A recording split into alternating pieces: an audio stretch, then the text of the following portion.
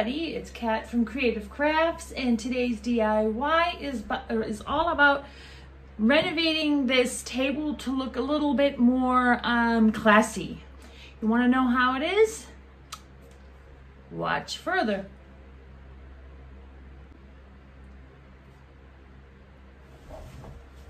So first what I want to say is I made a video on how you can make your own um, computer table. Well, someplace where you can just put a laptop or a small computer.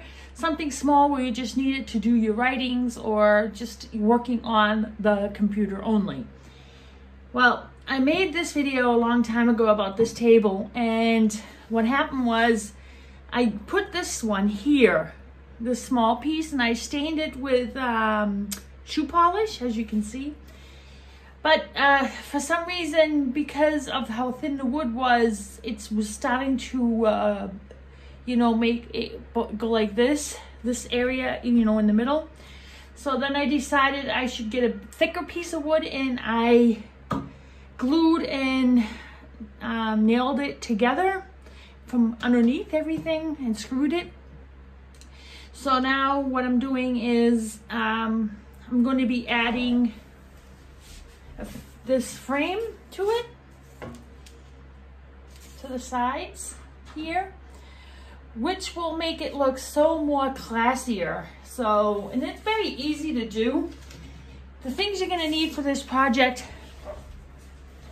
is a thingy here. I forgot what you don't remember what you call it, but it's something where you could put your wood pieces inside and to make it so that when I put the two pieces of wood here together, they connect like this together. Not that they're flush like that. I don't want that because it won't look good.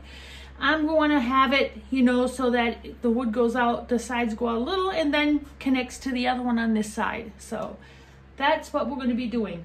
So the things you're going to need are this one of these things. Usually they come in different kinds. They come in steel, um, they come in a plastic. I got a plastic one because I, I just need short projects like what I'm doing right now. You need a hand saw. Doesn't matter what size. So It's very old, about a long time ago, and I left it in the basement and it got wet. But it still works, so it doesn't matter. It still works. So you need this. These are the three things you're gonna need to exchange this normal looking table into something elegant. The other items you're going to be needing is the color of the paint you want to do it. Um, this table is staying in my bedroom because it's going to match with the chair that I renovated. As you can see, check that video out on my YouTube channel. And I'm going to need a, of course, you know, a primer, and then the actual paint, which I got a glossy paint, which has a nice little gloss to it. And then after that, I will definitely spray it down with a clear varnish so that it protects the paint from scuffs or when you want to move things around on top. Like I have a laptop, so if I want to move it back and forth or it's too far close or too, you don't want to worry about scuffing the paint. So always make sure you get something that you can put over the paint that protects it from getting scuffed. Of course, when you first paint the table, it's going to take, in my opinion, at least a week before you can um, put anything on top because the paint still needs to cure and sit for a while before it becomes, you know, nice and hard so that you don't have to worry about it scuffing. Uh, yeah, basically that's it. And what we're gonna need also is I have a staple gun here, which also works with um, nails. So I'm going to be nailing this and not just nailing, I'm going to be also gluing it. So those are the few other things you're going to need. If you don't want to, you don't have to use it, the glue, but I'm going to use some wood glue, which I'm going to, once I cut it, I'm going to put some glue on it and then I'm going to nail it with the, the gun. You can use normal nails. Just make sure you get the kind that are for dowels or stuff like this for, for the rims because you do not want to use too much of a thick nail because if you do, what will happen is because you're using real wood, it will crack it and it won't look good once the, the these things here crack, this part here. You don't want that. So now I'm going to um, prepare myself to measure. You need to measure exactly the size that you need. Here is 80 centimeters wide and um, from the wall to this side is only 60. So now I'm gonna have to measure that and could put it in here and then cut and I can show you the very first piece what it's supposed to look like. So as you can see here, I'm cutting it upwards, not like this. I'm cutting it like this because um, it's going to be sitting across like this. So you need to cut it in the angle that you need. So the angle I need is, it has to be sticking out here on this side. So that means I got to cut from this side, not this way, but this way. So now I'm just going to cut first the end because the end that I need has to be here first. I don't want to waste any wood. So now what I'm going to do is, what you do is you take your saw, and what I do is I usually just start like cutting slowly in it. Usually it's pretty hard when you're working with your left hand. Let's see if I can switch my hands here. Didn't want to be in the camera, but I need my right hand.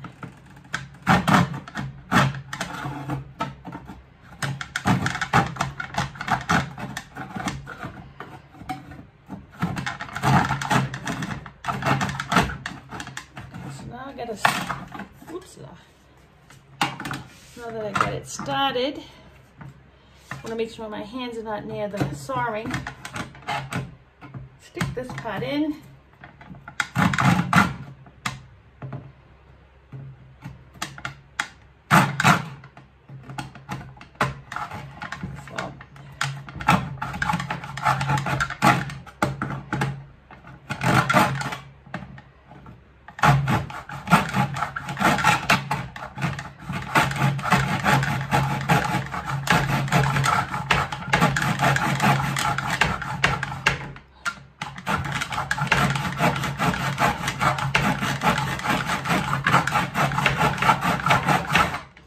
as you can see, you know what I'm talking about, what you do here. It would be better if maybe if I just screwed this into the table, but I don't want to ruin my table, so I have to use my strength for that.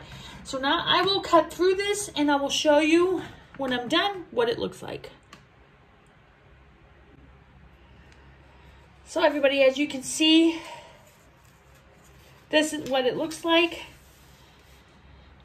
And what it's gonna look like here, it's gonna look like that.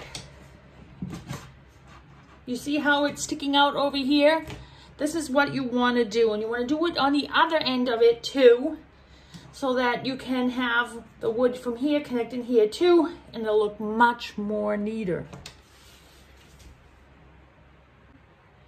So I measured it. I made my mark. And where I need to cut it you want to have it flush with the other end. So that end is going like this, you know, and you have to go this end going like this. And the size that I need is from the inside. And the inside is where that starts. So instead of cutting on this side, now I will cut on that side. So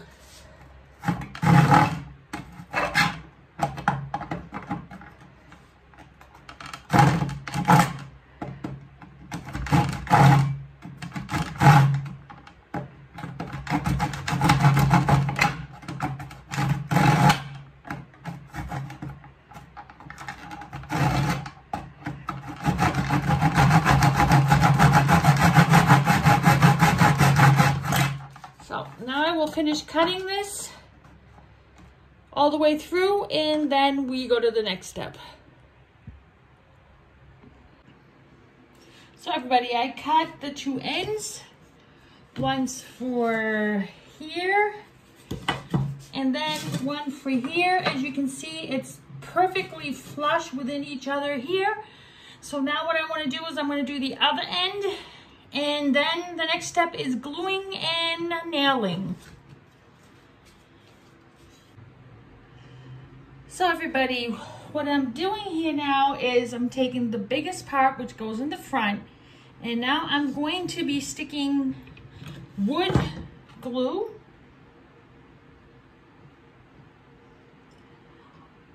to help that the glue, not the glue, but helps the wood piece stick to this area better.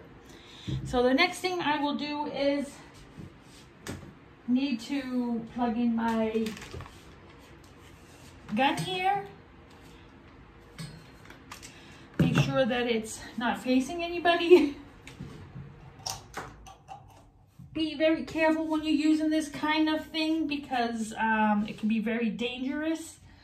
So what I would just suggest is to use a chair and first things first is you're to debate which side you want to have, how it is, how you cut it, make sure you put it on correctly. And then you add it onto the area that you want. And what I will do is take my gun here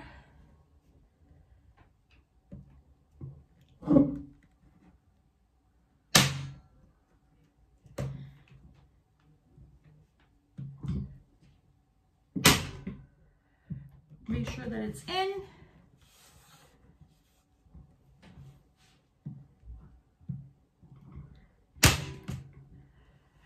And then it may be sticking out a little bit, but if I was you, I would just take the hammer, put a cloth over it, and take the hammer and make sure you when you're using these kind of nails, I do suggest that you, you, you when you put it in, you put pressure on it. If you don't put pressure on it and hold it tight, the nail is not going to go all the way in. It's going to stick out a little bit. So that's one suggestion. So now that I did that, now I'm going to take the piece, double check, that's, yeah, that's the side here. And now I want to put the glue and then stick that piece on flush. Make sure that it's perfect against these two corners. And then what I want to do is I'm going to stick some glue in between here and here and make sure that it covers any kind of extra pieces that are here. So, I'm opening. So that's what's going to be next. Hi, everybody. So here I am. And like I said, make sure you put it correctly on. Actually, I should put some glue here too, so we know that it's sticking well. And make sure that it's totally flush against where it's supposed to be. And then, like I said, you have to make sure you put pressure or it's not going to stick like you want it to. So now that I have this flush, I'm going to stick, like I said, in the gaps area, I'm going to stick some of this glue. I'm going to let it sit for about 24 hours so we can let it um, stick very well. And then we can finish the rest. So there we go, I got that. Now we're gonna do the other side, then I'm done with putting, well, the back. I decided not to put anything on the back because no one's gonna see it anyway. But if I wanna sell the table and as something nice, then I would suggest that um, you do the back and make sure it's perfect. But right now I'm just doing the areas for my table. So now that it's done, this done, do the other side and then wait until it dries. And then you have to, we have to sand, excuse me, have to sand everything down.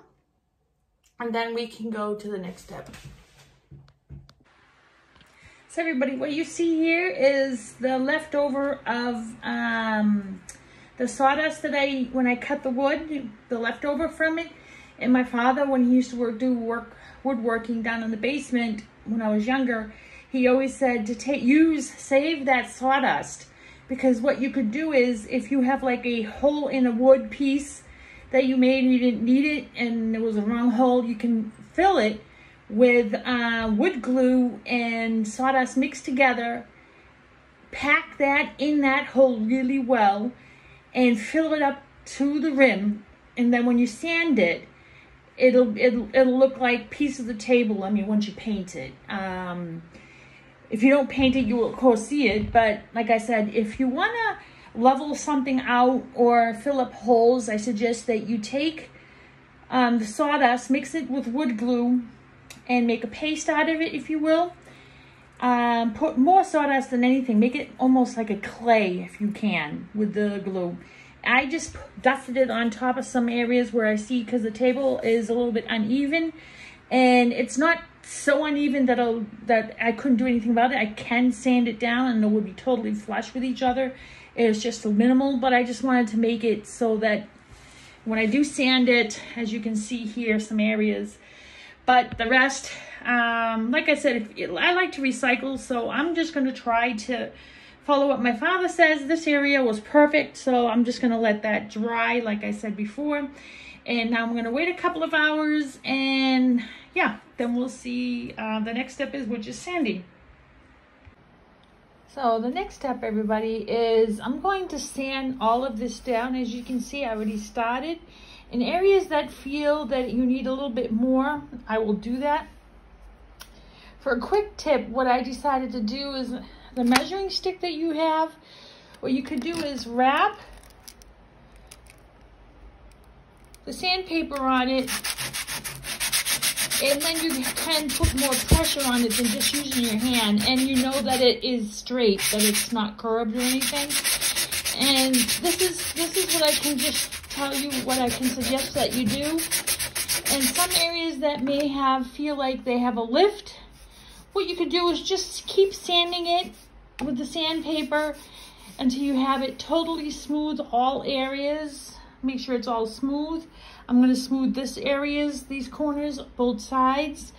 And then once it's totally smooth, you can wipe it down, clear off all the sawdust that's left over there, and wipe it down with a damp cloth, let it dry, and then we go to the, the next step, which is doing the primer, or if you want to stain it, you can stain it.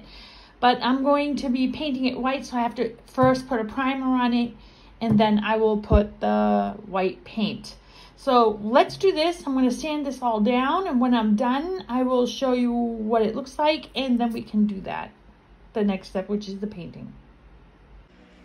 Hi everybody, I just finished sanding this down as you can see how nice and smooth it is. Um, the reason why I wanted to fill in this, these between the, the wood and the dowel that I put there, the frame, is because when I paint it, I don't want to have gaps.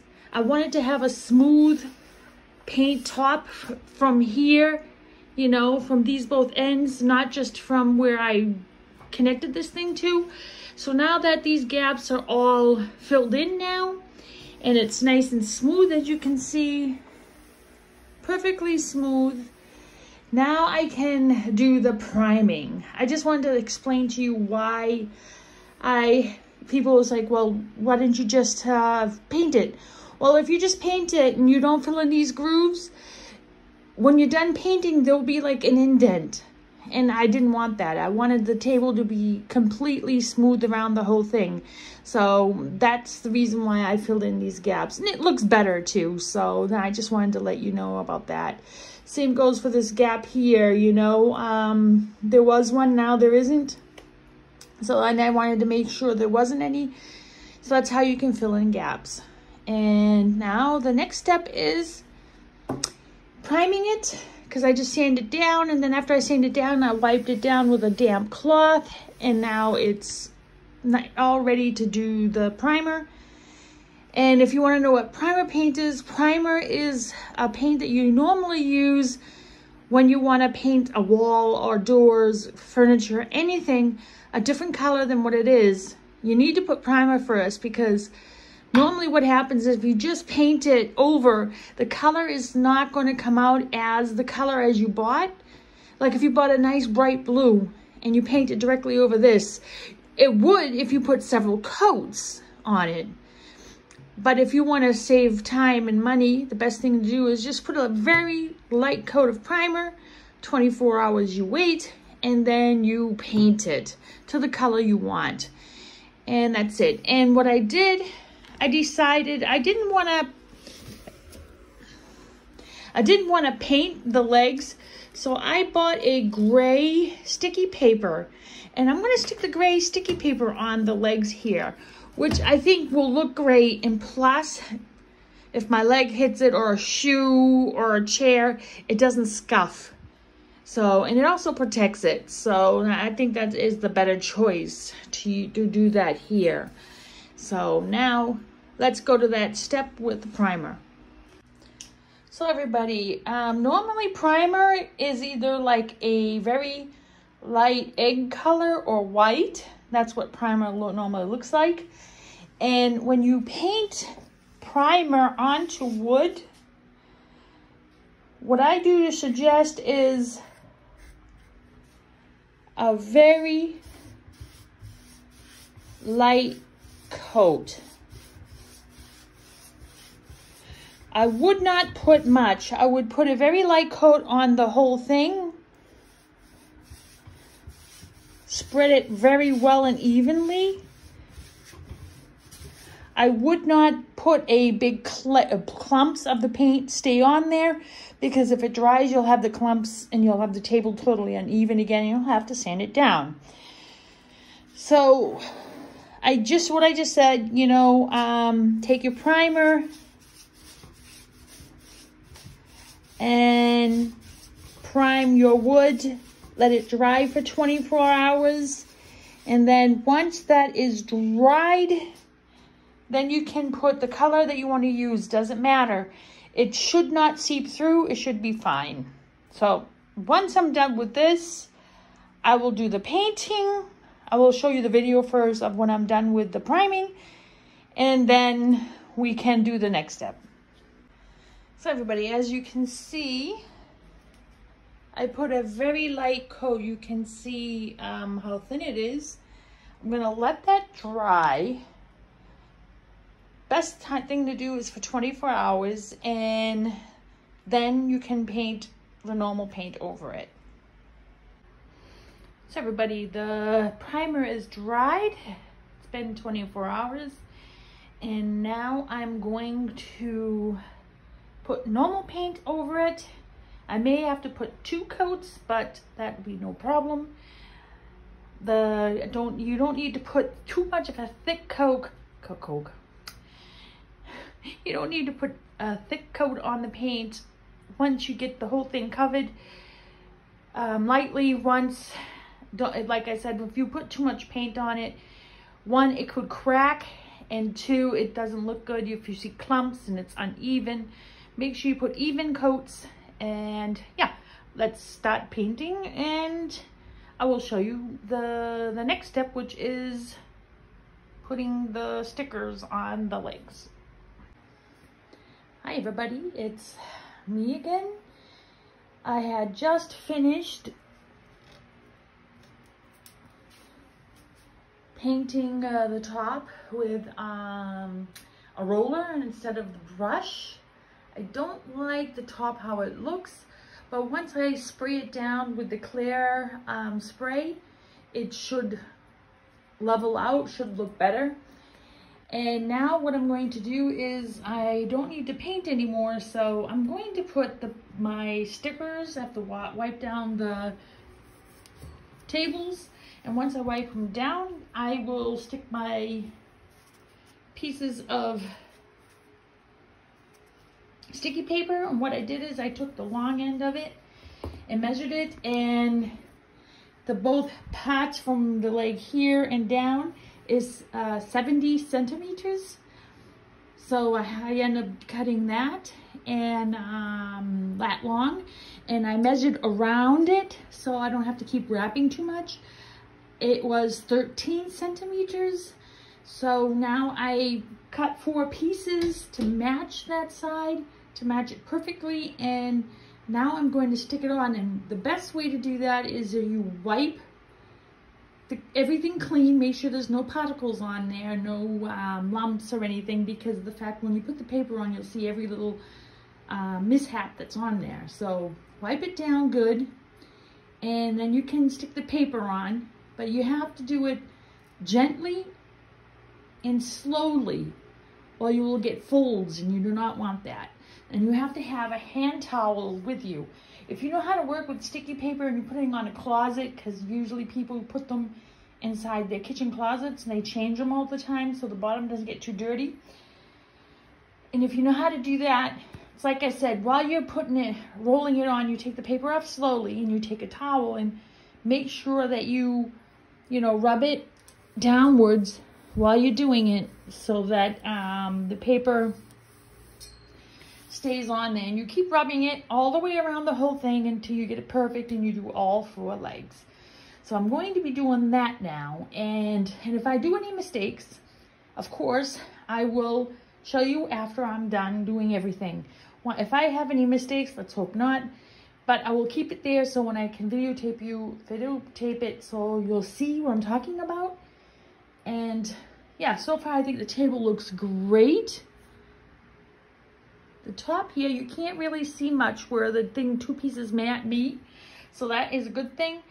If it still doesn't look great, um, I may just stick by a big piece of um, clear plastic, you know, and put it on top so it doesn't scuff or anything at first because usually, like I said at the beginning, paint needs to sit for a little bit and dry completely before you can put anything on top of it because of the fact that you can make uh, scratches easily in fresh coated paint, even if it's been dried for, you know, one or two days.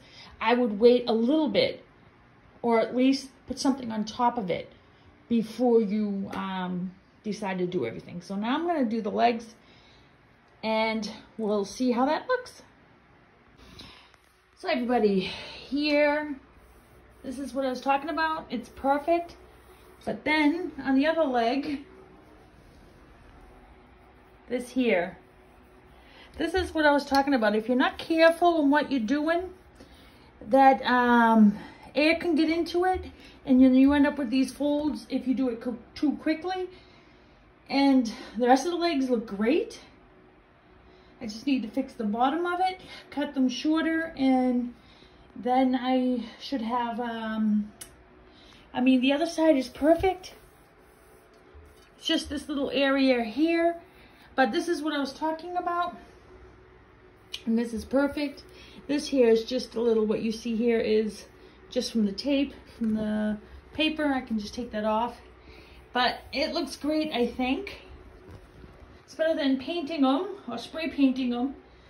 So now, I like I said, I'm going to do the top with a clear lac. I'm, I'm talking German now. With a clear varnish. So it has a little bit of a shine. And then my table's done. But so I don't want to just leave it like this. But so far, I think it looks great.